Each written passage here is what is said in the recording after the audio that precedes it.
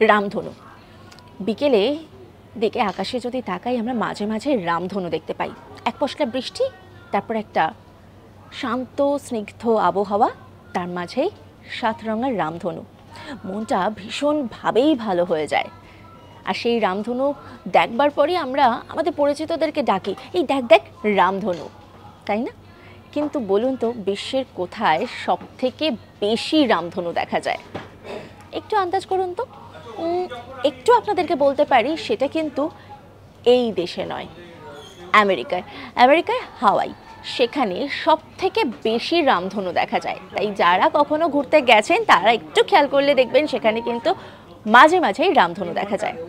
এরকমই কিন্তু নানা ধরনের আপডেট রয়েছে আপনাদের জন্য। আর সেই সমস্ত আপডেট জানতে হলে আপনাদেরকে কিন্তু অবশ্যই নজর রাখতে হবে আজতাক বাংলার ইউটিউব স্ট্রিমিংয়ে এবং পাশাপাশি যেটা করতে হবে কমেন্ট বক্স খোলাই রয়েছে।